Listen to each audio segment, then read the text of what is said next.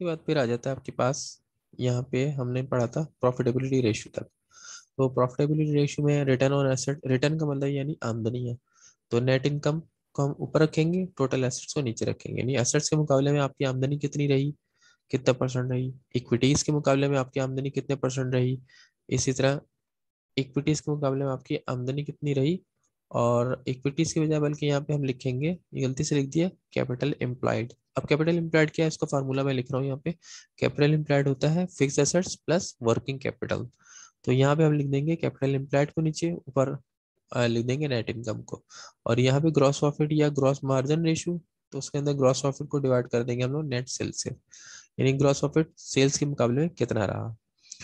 तो परसेंटेज में हमें फाइंड हो जाएगा। इसके बाद फिर आ जाता है आपके पास कैप एफिशिएंसी रेशियो जिसमें कंपनी की एफिशिएंसी का पता चलता है। और एफिशिएंसी का हमें किससे अंदाज़ा होता है? इन्वेंट्री से और इसके अलावा रिसीवेबल से। क्या ज़्यादातर करंट एसेट्स के आइटम इन्वेंट्री से और रिसीवेबल से पता चलता है हम लोगों को। हमने करना ये है कि इन्वेंट्री जिसका ताल्लुक कॉस्ट ऑफ़ गुड सोल्ड से है तो हम क्या करेंगे? कॉस्ट ऑफ़ गुड सोल्ड को ऊपर रखेंगे एवरेज इन्वेंट्री को नीचे रखेंगे। एवरेज इन्वेंट्री का मतलब है कि साल के शुरू की इन्वेंट्री और एंडिंग इन्वेंट्री दोनों को हम प्लस करके डिवाइड बाय टू कर लेंगे। अगर हमारे पास बिगनिंग और एंडिंग इन्वेंट्री नहीं दी हुई तो हम एक ही एंडिंग जो भी इन्वेंट्री आपको क्वेश्चन के अंदर गिवन है, यानी एंडिंग इन्वेंट्री हम उसी को यहाँ पे लिख लेंगे। और ऊपर कॉस्ट ऑफ़ गुड्स आ जाएगी जब उससे हम डिवाइड करेंगे तो हमारे पास ये पता चल जाएगा कि हमने इन्वेंट्री कितने टाइम सेल आउट कर दी है। टर्नओवर इन टाइम्स का मतलब ये है कि कितने टाइम आपने इन्वेंट्री एक स्टॉक पे सेल आउट कर दी है। ये क्या, ये कह लें कि आपने साल में कितने स्टॉक सेल आउट कर दिए। उसके बाद फिर आ जाता है इन्वेंट्री टर्नओवर इन डेज़ जब डेज़ की बात करते हैं तो आपके पास, हमने इसमें क्या करना है, जब हमारे पास इन्वेंट्री टर्नओवर इन टाइम्स आ जाएगा, उसको हम नीचे रखेंगे और ऊपर हम 365 डेज़ से डिवाइड करेंगे तो हमें पता चल जाएगा कि हम कितने दिन में एक स्टॉक सेल आउट कर लेते हैं। इसके बाद फिर आ जाता है आपके पास रिसीवेबल टर्नओवर रिसीवेबल टर्नओवर के लिए हम लोग क्या करेंगे credit sale divide by average receivable. अब क्रेडिट सेल्स को क्यों लिख रहे हैं हम लोग? क्योंकि अकाउंट बिल का ताल्लुक क्रेडिट सेल से ही होता है। या ये कह लें कि क्रेडिट सेल्स होने की वजह से, उधार सेल होने की वजह से ही हम अकाउंट सेबल का अकाउंट मेंटेन करते हैं। तो हम उसको ऊपर रखेंगे और नीचे अकाउंट सेबल एवरेज लेंगे। अगर एवरेज गिवन नहीं है तो हम उस एक ही अमाउंट को लिखेंगे अकाउंट सेबल को तो हमारे पास क्या आ जाएगा? रिसीवेबल टर्नओवर इन टाइम्स आ जाएगा। उसके बाद फिर हम उसको डिवाइड कर देंगे किसके साथ? 365 डेज़ के साथ। तो हमें ये पता चल जाएगा कि हम कितने दिन में कलेक्शन कर लेते हैं? यानी हमारा उधार जो है वो कितने दिन में कलेक्ट हो जाता है? उसके बाद फिर हमने total days of operating cycle के अंदर हमने क्या करना है? Days of operating inventory turnover जो हमने ऊपर फाइंड किया और टोटल डेज़ ऑफ़ रिसीवेबल जो इसका आंसर है, दोनों के डेज़ में आंसर आ रहे होंगे। दोनों को प्लस कर देंगे तो हमारा ऑपरेटिंग साइकिल आ जाएगी। मीन्स हमारा पूरा साल आ जाएगा जिसमें हमने अपने बिज़नेस को चलाया। क्वेश्चन के लिए हम लोग करते हैं प्रैक्टिस ठीक है क्वेश्चन आप लोगों को समझाता हूँ मैं। जैसे आपके सामने क्वेश्चन है बैलेंस शीट दी हुई है एक कंपनी की।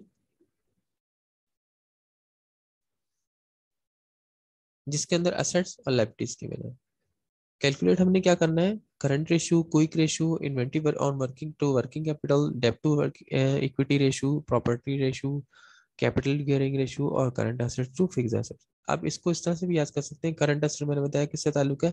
करंट रेशियो का current asset divide by current liabilities quick का quick asset divide by current liabilities inventory का कैसे ताल्लुक है? Inventory on working capital to working capital यानी इन्वेंट्री वर्किंग कैपिटल के मुकाबले में कितनी रही?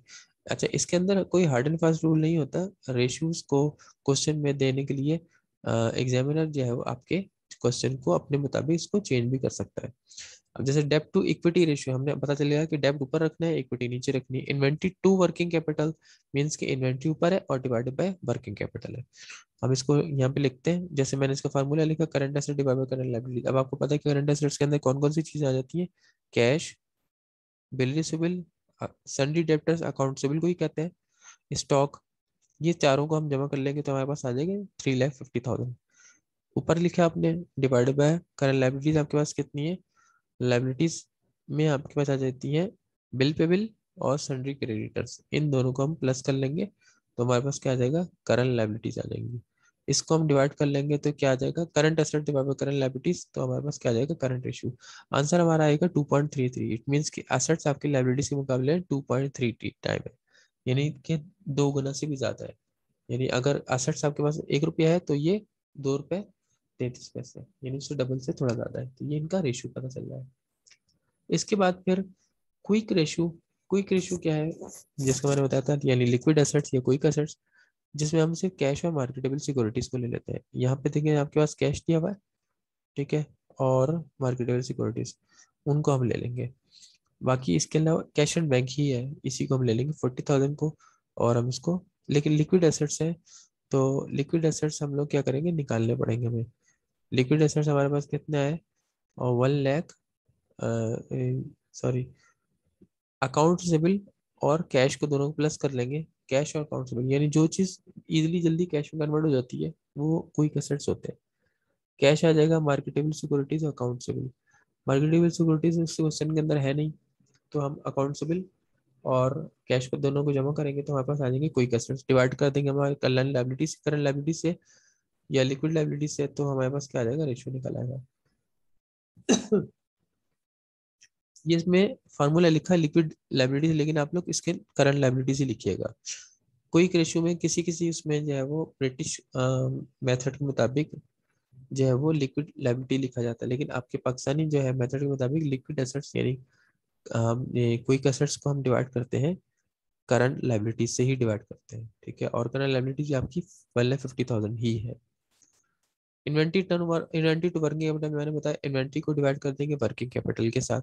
इन्वेंट्री आपके पास दो लाख गिवन थी वर्किंग कैपिटल भी आपको दो लाख है। Current assets minus current liabilities तो ये आपका रेशियो वन वन आ गया, ये इक्वल इक्वल है। वर्किंग कैपिटल का मैंने फार्मूला बताया current assets minus current liabilities तो ये हमने जब माइनस किया तो हमारे पास वन फिफ्टी और टू फिफ्टी ये आपके पास आ गया। वन फिफ्टी माइनस किया तो ये टू लाख रुपीज़ आ गए आपके वर्किंग कैपिटल डेप्ट टू इक्विटी रेशियो हम डेप्ट को ऊपर रखेंगे, यानी टोटल डेप्ट टोटल डेप्ट का मतलब ये हो गया कि लॉन्ग टर्म लाइबिलिटीज और करंट लाइबिलिटीज दोनों को ही हम डिवाइड कर देंगे शेयर होल्डर इक्विटीज के साथ. तो ये आपका अमाउंट आ गया. इस तरह से हम अमाउंट लगते चले जाएँगे. प्रोपराइटरी रेशियो क्या है? शेयर होल्डर्स फंड या share holder equities divide by total assets ठीक है? इसको हम क्या करेंगे? टोटल एसेट्स से डिवाइड करेंगे. जैसे ये लिखा हुआ टू लैख सेवेंटी थाउज़ेंड यहाँ पे हम लोग इसको देख के लेंगे. टू लैख शेयर कैपिटल हो गया और आपके पास ये आ जाएगा फोर्टी थाउज़ेंड जनरल रिज़र्व हो गया और thirty thousand profit and loss account हो गया। तीनों को हम प्लस करके डिवाइड कर देंगे। ये तीनों हमारे पास शेयर इक्विटीज है, उसको हम डिवाइड कर देंगे। इसके साथ, टोटल एसेट्स के साथ। अब इसके बाद आ जाता है capital gearing ratio capital gearing ratio में हमारा आ जाएगा फिक्स इंटरेस्ट बेयरिंग सिक्योरिटीज वैसे आपके कोर्स में तो शामिल नहीं है, लेकिन वैसे आपको बता दूँ कि इसके अंदर हमारा आ जाएगा फिक्स बेयरिंग सिक्योरिटीज जो कि चार लाख बीस हज़ार पे है और उसको हम डिवाइड कर लेंगे शेयर होल्डर इक्विटीज के साथ. ये हमारे पास कैसे आ जाएँगे? इन सबको प्लस करने के बाद. ये हमारे पास दिए सॉरी डेबेंचर्स डेबेंचर्स को हम क्या करेंगे? डिवाइड कर देंगे.